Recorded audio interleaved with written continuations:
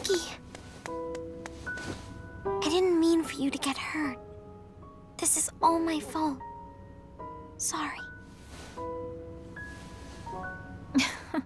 you don't say sorry in this situation, Relia. You say thank you.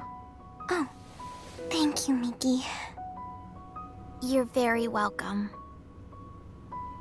You're okay. You're here, Fidel. Emmerson and Anne are the ones who saved you. If they hadn't been around, we wouldn't have been able to do anything for you. That's what I heard from the people here.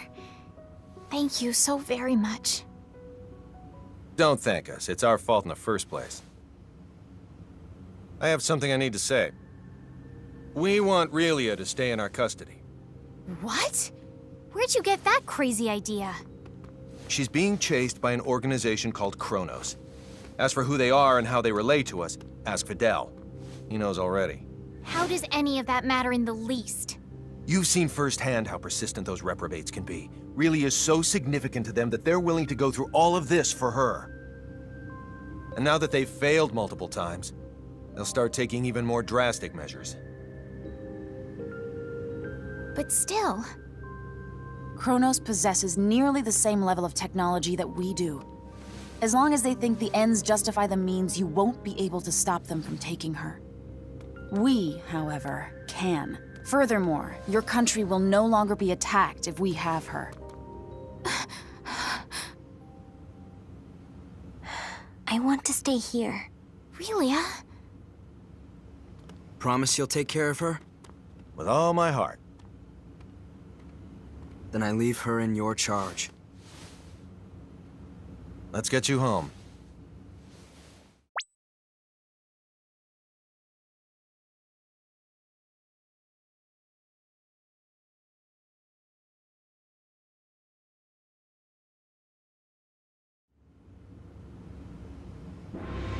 We're very grateful to have met the both of you. We owe you a debt of gratitude. Just wait until my technological discoveries surpass even yours. Please see that no harm comes to Relia. We will. You take care down there. All the best. Relia, you take care of yourself. Miki. Grab happiness by the horn. Fidel. Bye-bye, Relia!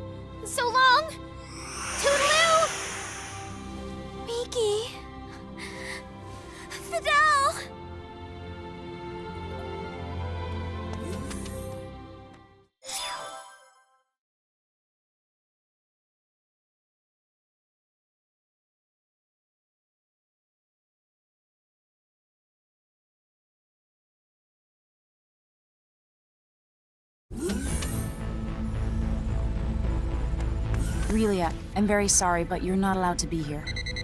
Captain, our sensors have detected abnormal energy disturbances. The possibility that they're caused by mechanical activity, as opposed to a natural phenomenon, is 87.32%. What do you make of it? My guess is Kronos' cloaking technology. Use impulse engines to change our trajectory. Enable our shields as well. We're going on red alert. Engine output reduced by half. Modifying course. Now raising shields to 80% Omni. We're currently at 30%, sir. Everyone assume battle stations.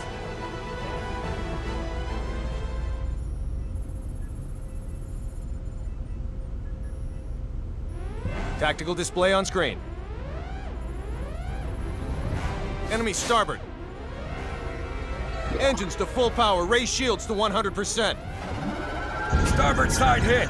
Shields operating at 97%. Loading of enemy torpedoes confirmed. Anne, any info on the torpedoes? Uh, nothing at the moment. Change course to 90 Mark 45. We're going to their port side. Current speed at 0.87. We're approximately three minutes from Faykreed 5. The enemy has launched eight torpedoes our way, all proceeding at course 360. Another eight torpedoes incoming. Following course 50, Mark 270. Employing Hadean tactics, I see. Looks like someone in Kronos knows his way around a Starfleet battle. Enemy phase cannon fire has been detected. Phase cannon beam impact 135 degrees to starboard. Shields now at 94%. Oh, crap. All right, we're gonna have to let a couple of torpedoes through. I guess all we can do is pray theirs don't pack too much of a punch. Load four photon torpedoes. Set the first to slow, put it on a course for the flagship's eight torpedoes. Set the second one for slow as well and aim it at the second round of torpedoes. Prepped and ready. Great. Fire rounds one and two. Firing rounds one and two. Five seconds until contact. Three, two, one, zero. Ten enemy torpedoes still remain. There shouldn't be anywhere near that many. Huh. Who knew their AI was that good? Five seconds until contact. Three, two, Everyone, one. brace for impact! Damage report. We sustained damage from two torpedoes. Shields reduced to 57%. Warp drive is operational. All that damage from two measly torpedoes? Akagi evaded all torpedoes. The Nimitz took one hit that reduced its shields to 34%. Its warp drive has sustained heavy damage. Now only its impulse engines remain operable. Even if they're top of the line, our ships are still mainly research vessels. They don't stand a snowball's chance in hell against three battle cruisers. Transmission from their flagship. Before we open communications, shut down our warp drive. Captain, you can't be serious. Do it now. Aye, aye, sir. Initiating emergency warp drive shutdown. Shields at 5%. Okay, now bring them up on screen. This is Captain Aaron of the Kronos Interstellar Army ship Daravolos. Emmerson T. Kenny, captain of the Federation vessel Charles D. Gaulle. Kenny, you say? Well, well, what an honor it is to meet a gentleman as influential as you. A shame I can't see your face with all that egg of defeat smeared on it. Thanks for the concern. I believe you know what we came here for. Tis yours. Captain! But in return, I'd like a favor. What's that? The warp drives of this and another of our ships took a great deal of damage. Enough to render interstellar navigation impossible. I ask you to please let us leave this sector on the one ship with a fully functional warp drive. Run a scan. The warp drives for their first and third ships are indeed down. I'll permit the other ship's crews to go. I regret to inform you, however, that yours will have to stay behind. That's fine with me, but how should we handle the exchange? Your crew will transport over to my ship, starting with you. Then we'll start moving within transport range of your vessel. Fret not, for we shall do the moving. All you need do is lower your shields and wait until we are in range and contact you again. Don't pull anything funny in the meantime. How far away is the enemy from us?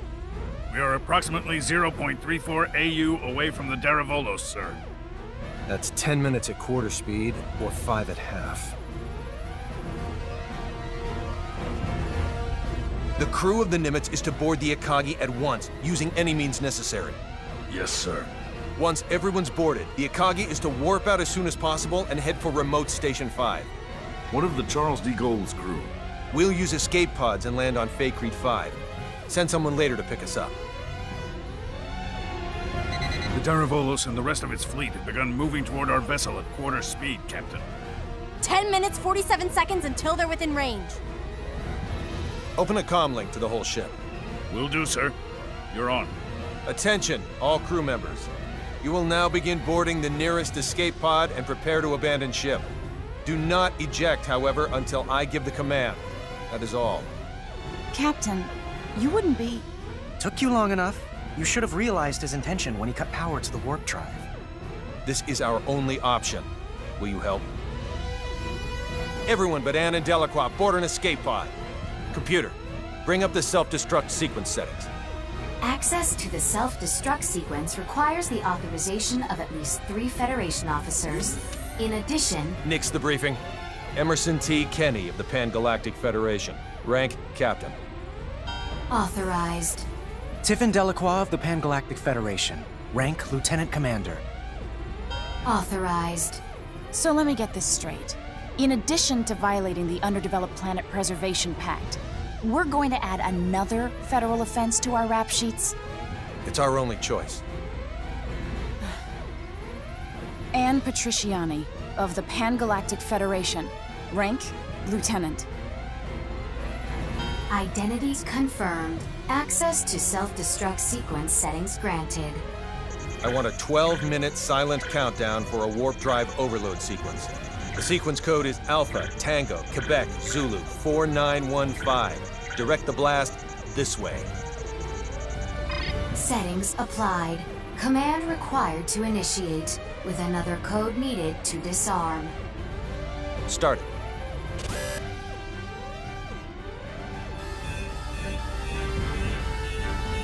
Delacroix, get to an escape pod. Anne, get little Miss Starlight and come with me. Yes, sir. They're all yours now. May the goddess of victory smile upon us.